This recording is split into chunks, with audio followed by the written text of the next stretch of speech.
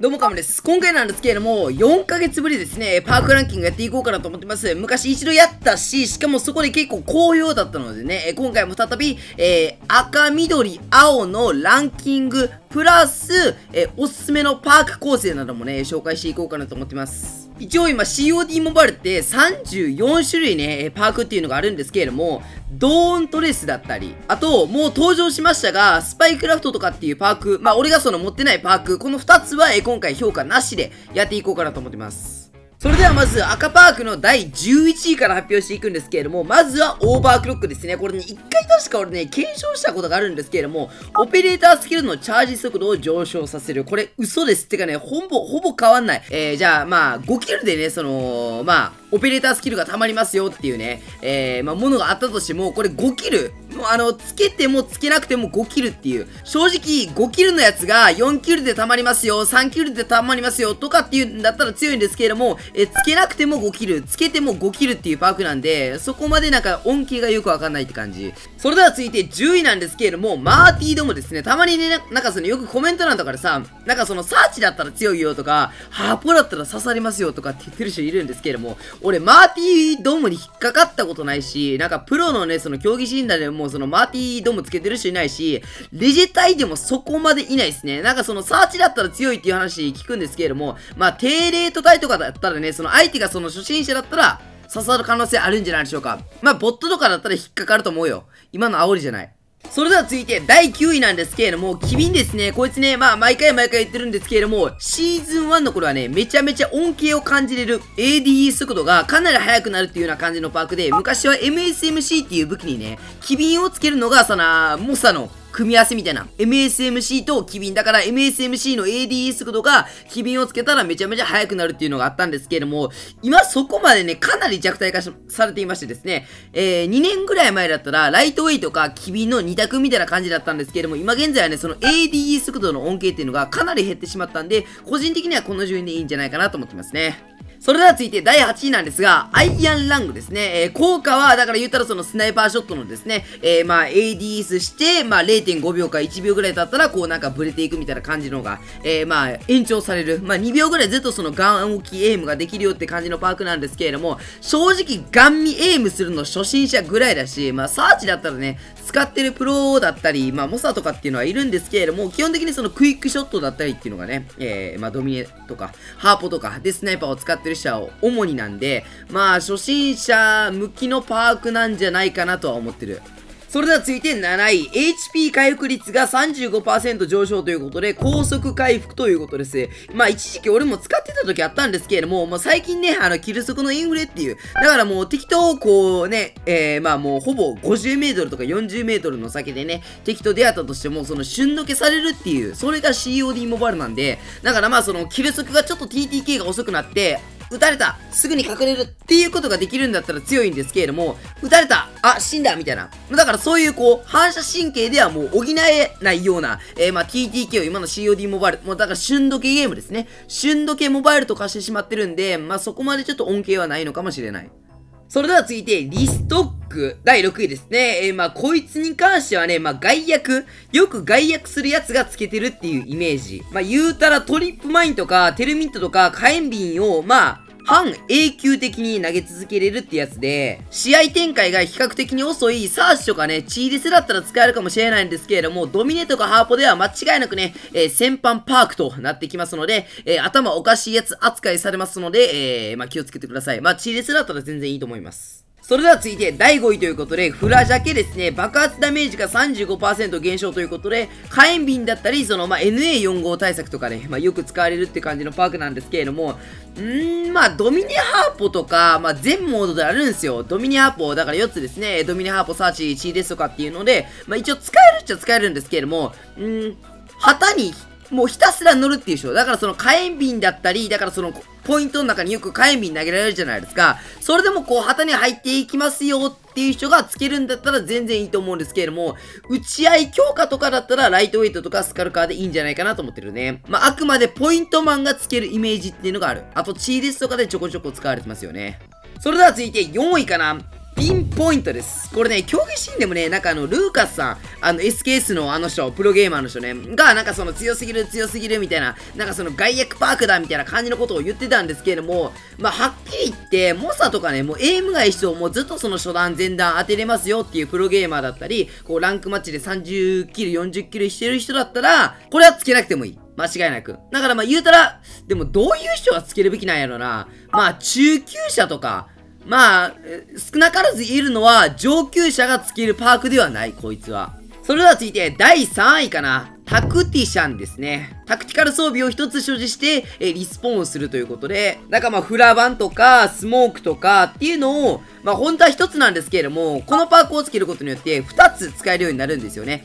だからサーチとかだったらかなり使われています。あのね、正直言って競技シーンだったら強いと思うんですけども、普通のランクマッチだったり、あとこうね、ランクマッチのチーレスとか、ハードポイントとかだったら、まあ、タクティシャンはつけなくてもいいのかなとは思ってます。それでは続いて第2位なんですけれども、スカルカーとライトウェイトどちらにしようか迷いましたが、まあ個人的にはですね、現在のライトウェイトの方が、まあ第2位に持ってくるんじゃないかなと思ってます。今現在ダッシュ速度が5%って書いてるんですけれども、昔これ確か10%だったんですよね。なんでね、まあ昔のライトウェイトが正直言って強すぎるってだけで、今までもね、えー、全然そのキャラコン目的とか、えー、まあナイファーだったり、えー、あと SMG とかでね、こう素早くポジショニング、えー、強ポジを取りに行くダッシュして、っていうその SMG LMG 戦とかの人は、まあ、使えるとは思うんですけれども、ですが、LMG だったり、AR とか、そういう、こう、ずっとひたすら停電とか、強ポジを維持する人が使うっていうパークではないんじゃないかなと思ってる。そして第1位なんですけれども、スカルカーですね。SR につけてもよし、SMG につけてもよし、LMG につけてもよし、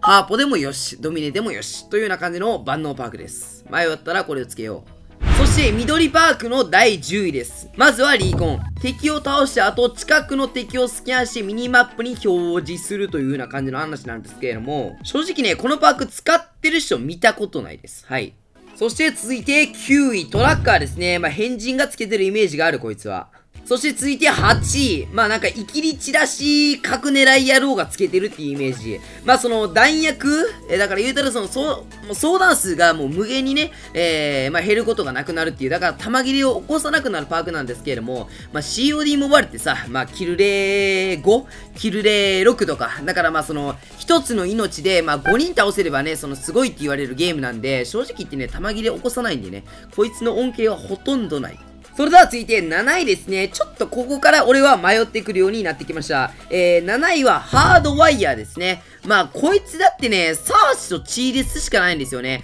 えっとね、あのー、ドミネアーポでハードワイヤーをつけてる人は、ほぼほぼ見たことがないし、まあ、チーレスとかサーチでね、つける人はいるんですけれども、こいつをつけられてもね、なんかそこまでうざいってっていう風な感じのパークじゃないんですよ。というのもですね、COD モバイルって基本的に銃でね、あの、相手をぶっ殺すゲームだから、こいつも言うたら、あの、トリップマインぐらいなんですよ。トリップマイン対策につけるパークなんで、まあ、トリップマインをつけない人からすれば、ハードワイヤー、あ、そうですか、みたいな感じのパークです。そして続いて6位、冷血ですね。まあ、こいつはドミニハーポとかでもね、その全然ありっていうか、敵のそのスコアストリークに狙われなくなるんですよね。まあ、主にショック RC とセントリーガンに狙われなくなるっていう話で、まあ、こう、ソロランでね、その味方がボコされまくって、で、なんかそのショック RC とかいっぱい出されますよっていうんだったら、この冷血は全然ありだとは思う。それでは続いて5位だったかな。アンプですね。まあ、スナイパーライフルぐらいしか、まあ、使い道がないんで、まあ、スナイパーとか、なんかその、イキリスナイパーとかね、ちょっとあの、言い方間違えたら炎上するからやめようね。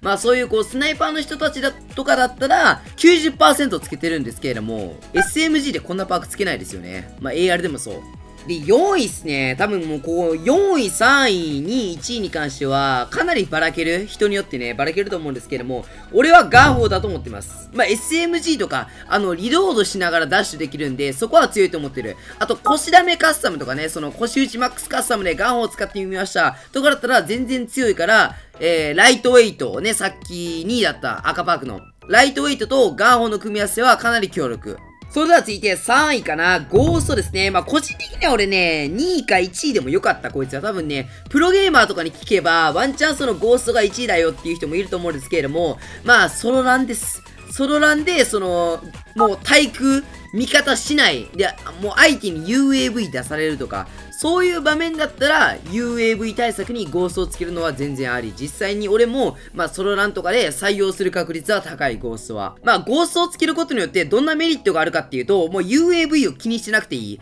あと自分がこうね、あの、対空ターレットとか、あとこう何やったっけ、ランチャーね、こうランチャーこう上に担いでバコーンってするやつ。あれも持ってこなくても良くなるから、ソロランでのランキングを考えるんだったら、こいつは1位かもしれない。れないそして第2位、モサがよくつけてるっていうイメージがあります。特に SMG とアサルトライフルはね、まあ必須級とは言わないんですけれども、まあフェネックとか、あと OTS とかね、SMG でつけた方がいい武器は多い。まあスイブレもそうだし、まあね、この新武器の OTS、あとはまあ、CBR4 とかもつけたいね。まあ、てな感じに、割とその中距離でね、えー、まあ、中距離での打ち合いの勝率とかっていうのを上げたいんだったら、タフネスが一番です。まあ、中距離で戦うんだったら、こいつが一択って感じ。そして第1位はもう皆さんわかりますよね。クイックフィックスです。クイックフィックスに関してはね、確かこいつ強すぎるからね、競技シーンとかでは禁止されてるのかな。でも、カメさん、競技シーンの人たち、みんなタフネス使ってるじゃないですか。それは、クイックフィックスが禁止されてるからなんですよ。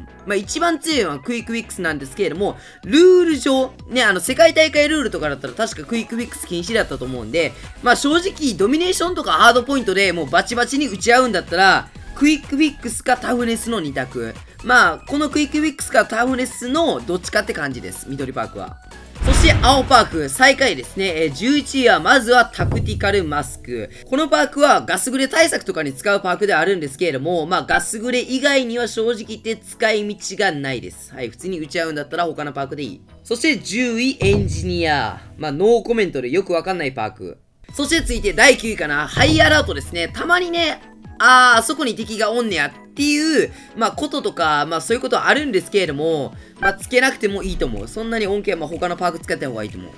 そして8位はユニットサポートかな。こいつね、まあ俺多分1回も使ったことないと思う。ちょっと説明っていうのがややこしいっていうのはあるんですけれども、基本的にはそのチーム。だから、まあ味方依存なパークです。味方が強かったら自分のこう、オペレータースキルも早く溜まりますよ。でも、味方がクソ雑魚だったら、オペレータースキルの溜まりが、こう、まあ、早くなりませんよっていうような感じの、まあ、味方依存のパークですね。まあ、一人でこう、なんか打開できるようなパークではない。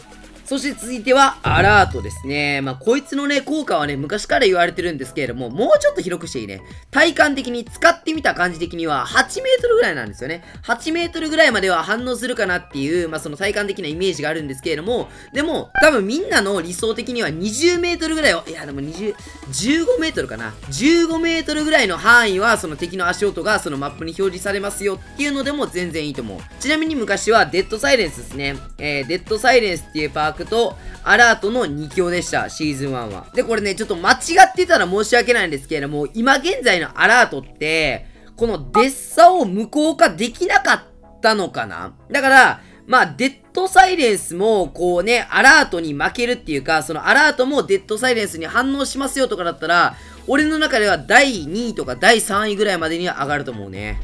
それでは続いて、不屈ですね。まあ皆さんご存知の通り、COD モバイルのスコアストリークって、1回死んだらリセットされるんですよね。だから、まあ、200ポイントまで溜まっても、死んじゃったらまた0に戻される。えー、500ポイントまで行ったとしても、また死んだらパッて戻される。でも、この不屈っていうのをつけると、普通は200で溜まるやつが、400で溜まるようになるんですよね。あれ？これデメリットしかないじゃんと思うんですけれども、1回ディスしたとしても、えー、スコアストリークがリセットされない。代わりに、スコアストリークのコストが通常の2倍になるって感じです。昔はこの不屈っていうの赤パークだったんですよね。赤パークの不屈とこの青パークのハードライン、この2つを組み合わせることで、もう誰でも簡単にね、まあ、V トールとか EMP っていうのを、えー、貯めれるっていう組み合わせが昔できたんですよ。不屈ハードラインっていう構成ね。ほんでまあ、使用率で言うんだったら次はランチャープラスかな。そして、次の順位はシュラプネル。まあ、シュラプネルとね、そのランチャープラスって結構似たような感じ。まあ、その爆発物を増やすってやつなんですけれども、ランチャープラスとシュラプネルどっちが、まあ、使用率高いか、まあ、その需要が高いかっつったら、これはシュラプネルの方が優秀だとは思ってる。そして続いてはハードラインですね。まあ、相手が、ま、弱いとか、弱い敵とか、相手に使うっていうパークです。まあ、言うたらプロゲーマーとかだったら、まあでもどうなのかなまあでも、あの、遠距離武器、LMG とか SKS とか、スナイパーライフルでつけるのは全然ありだと思ってます。というのもですね、第1位っていうのが、デッドサイレンスなんですよね。デッドサイレンスっていうのは、まあ、前線に立つんだったら絶対にいるバグです。足音を消せるってやつなんですけれども、SMG だったらこいつ一択。ですが、第2位の、このハードラインっていうのは、まあその足音を消せないんですよ。足音を消せないんですけれども、足音が関係ない30メートルとか40メートルで戦うのが主にっていう、そういう戦闘スタイルの武器だったり、そういうプレイヤーとかだったら、ハードラインでも全然ありだとは思ってる。ってな感じにどうだったでしょうか？冒頭にも言った通り、今度は SMG、AR、LMG、スナイパーライフル、マークスマンとかのパークおすすめ構成っていうのをパッて紹介していこうかなと思っています。まずは SMG ですね。まあスイッチブレードとか持つんだったら俺はこんな感じのパークが理想的なんじゃないかなと思ってますね。まあゴーストでその前線にこう潜り込む。そしてこうライトウェイトで、え、どんどんどんどん敵に詰めていく。そして SMG はやっぱりそのキャラコンしたいよね。だから赤パークのライトウェイト。ってな感じかな。まあ、デッドサイレンスはもうテンプレみたいなもん。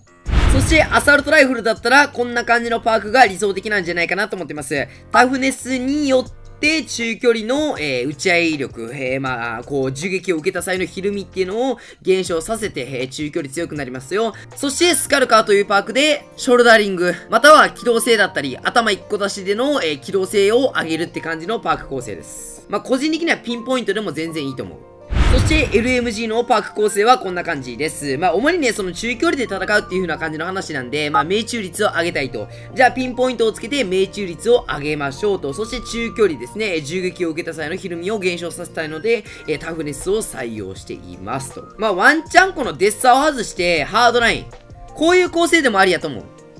そして、ショットガンがこの構成となっております。この赤パークのね、タクティシャンは何ぞやっていうような感じの話なんですけれども、ショットガンとかなり相性がいいスモークグレネードを2つ投げれるようにと、というような感じのパーク構成です。まあ、こいつスモークをね、とりあえず投げまくって、LMG やスナイパーライフルの視界を遮って近距離まで詰めて、あとは、得意なショットガンで、えー、まあ、近距離戦に持ち込みましょうって感じ。そして、ショットガンっていうのは、リロール速度がかなりね、カチャカチャカチャカチャカチャみたいな感じにかなり長いので、えー、まあそのカチャカチャカチャをやりながら、えー、まあ遮蔽物とかに隠れれるようにガンホを採用していますと。てな感じにどうだったでしょうか？これからもこういったような攻略動画だったり最新情報を豆知識上げていきますのでよろしくお願いします。ご視聴ありがとうございました。バイバイ。